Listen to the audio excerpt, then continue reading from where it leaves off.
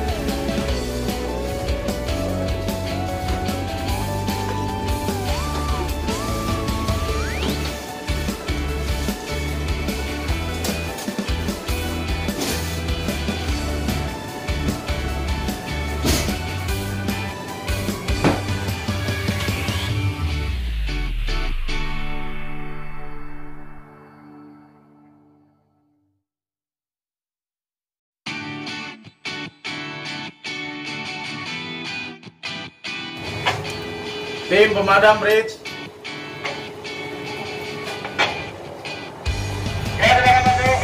Oke, gimana uh, hasilnya pemadaman di kamar nomor 11?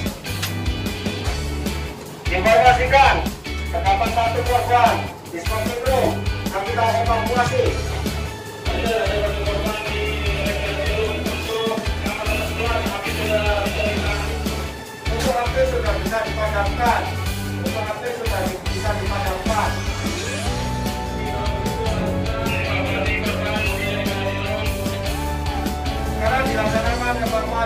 Evakuasi